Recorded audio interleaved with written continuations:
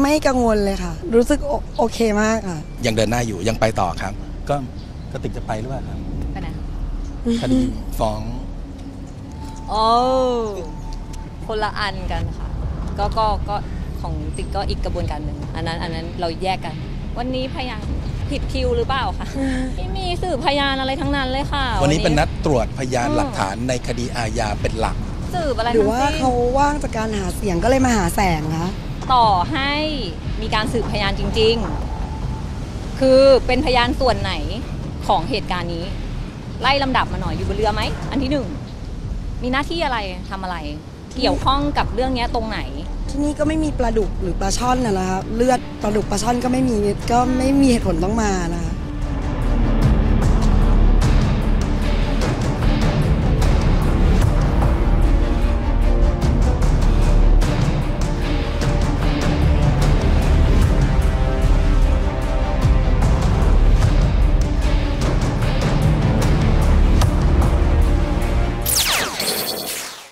วันนี้เป็นนัดตรวจพยานหลักฐานนะครับ แล้วก็เป็นนัดที่จำเลยทั้ง 4 คนต้องยื่นคำให้การคัดค้านในประเด็นที่คุณแม่เรียกค่าเสียหาย 179 ล้านครับซึ่งทนายทุกคนเนี่ยยื่นคำให้การในส่วนคดีแพ่งที่เรียกค่าเสียหายไว้แล้วนะครับ ส่วนในประเด็นอื่นๆเนี่ยเราในส่วนผมเนี่ยผมยื่นโต้แย้งในส่วนที่แม่ใช้สิทธิ์ซ้ำจากคดีเดิมของคุณปอคุณโรเบิร์ตนะครับ เพราะคดีนั้นศาลตัดสินไปแล้วตามสัญญายอมครับวันนี้ในในคดีวันนัดวันนี้มีมีแค่ในส่วนประเด็นการตรวจพยานหลักฐาน ครับถ้าผมเป็นทนายจำเลยในคดีนี้นะผมไม่กังวลใจ ผมว่าคดีนู้นต้องกังวลใจกว่าครับเพราะคดีน่าจะไม่สิ้นสุด หมายความว่าคุณแม่น่าจะใช้สิทธิ์ในการยื่นอุทธรณ์ถ้าเขาใช้สิทธิ์ยื่นขยายไว้ ซึ่งเป็นสิทธิ์ของเขาตามกฎหมายครับ ของเราเนี่ยไม่มีผลอะไรครับ เพราะว่าอของเรายังไม่ได้เริ่มต้นที่จะสืบพยานเลย ถ้าดูจากคำฟ้องในคดีเนี่ยก็ตามที่อายการท่านบรรยายฟ้องมา ผมไม่ได้ไม่ได้กังวลในเรื่องของการที่จะต้องต่อสู้ เพราะว่าข้อเท็จจริงเนี่ยเรามีจากพยานหลักฐานที่กองพิสูจน์หลักฐานตรวจมาแล้วนะครับส่วนคุณแม่ท่านจะคิดอะไรเนี่ยเป็นเรื่องที่ท่านคิดได้เลยฮะจินตนาการได้ เมื่อสักครู่คุณแม่บอกว่าสองวันก่อนฝ่ายโจทย์ร่วมมีการยื่นพยานหลักฐานเพิ่มตรงนี้ทราบข้อมูลเอ่อยังไม่ทราบครับเดี๋ยวคงต้องกลับเข้าไปดูในสำนวนศาลว่าชุดที่ยื่นมาเนี่ยเป็นใหม่จากที่อายการมีในสำนวนแล้ว หรือว่าเป็นชุดเก่า ขอให้เป็นหลักฐานใหม่จริงๆฮะถ้าไม่ถ้าไม่ถ้าไม่ไม่ใช่หลักฐานใหม่เนี่ยผมเชื่อว่าทนายจำเลยหรือจำเลยทุกคนเนี่ยพร้อมที่จะพิสูจน์ตรวจสอบอยู่แล้วครับว่าหลักฐานนั้นได้มาโดยชอบไหม ไม่กังวลเลยค่ะ รู้สึกโอโอเคมากค่ะ ก่อนหน้านี้ได้พูดคุยกับคุณแม่บ้างไหมคะ กับแซนไม่มีเลยค่ะ ไม่ติดใจนะคะ แต่ว่าอยากแนะนำให้คุณแม่ดูคุณป้าของน้องเบนซ์เป็นตัวอย่างว่า ทัศนคติเขาค่อนข้างคิดบวกนะคะ แล้วก็ เข้าใจคำว่าอุบัติเหตุศาลนัดไต่สวนวันที่ 4 กันยายนครับ เพราะว่านัดที่แล้วเนี่ยที่เรามาศาลเนี่ยทางทนายทั้ง 3 ท่านของจำเลยที่เราฟ้องไว้เนี่ยขอขอศาลท่านเลื่อนคดีครับก็เดี๋ยววันที่ 4 กันยาจะไต่สวนอีกครั้งหนึ่งยังเดินหน้าอยู่ยังไปต่อครับ ก็กระติกจะไปหรือเปล่าครับไปไหนคะคดีฟ้องโอ้คนละอันกันค่ะ ก็ก็ก็ของติ๊กก็อีกกระบวนการหนึ่งอันนั้นอันนั้นเราแยกกัน อีกแล้วเหรอ ก็ก็ก็ออกมาค่ะ เออครับเราก็มีเหมือนกัน ผ่านขั้นตอนหรือเปเอล่าอถ้าใช่ใช่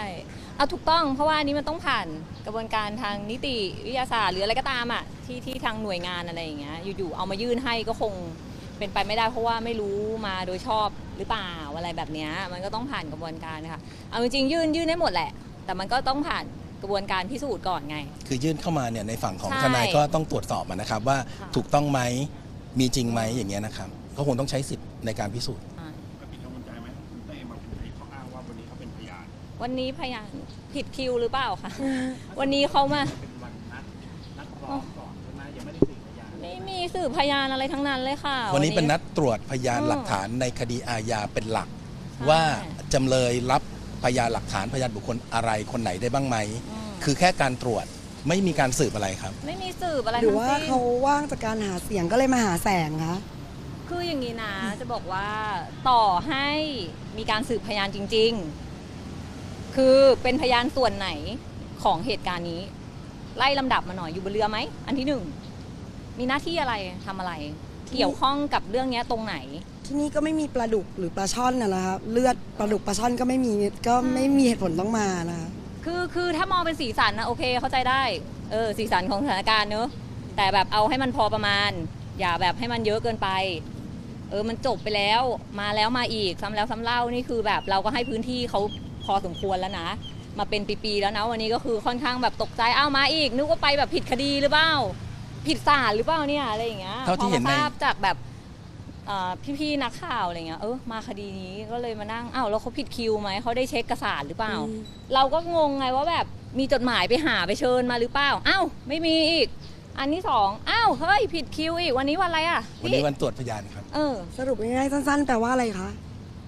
เออ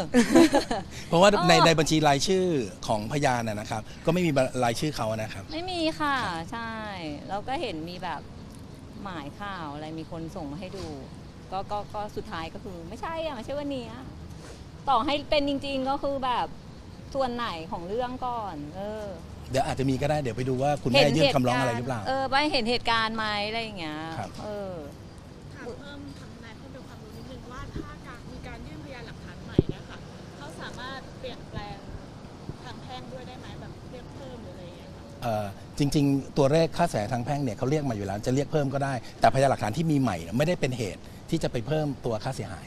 นะครับแค่อาจจะเป็นในเรื่องของประเด็นคดีอาญาว่าประมาทไม่ประมาทใครประมาทแบบนี้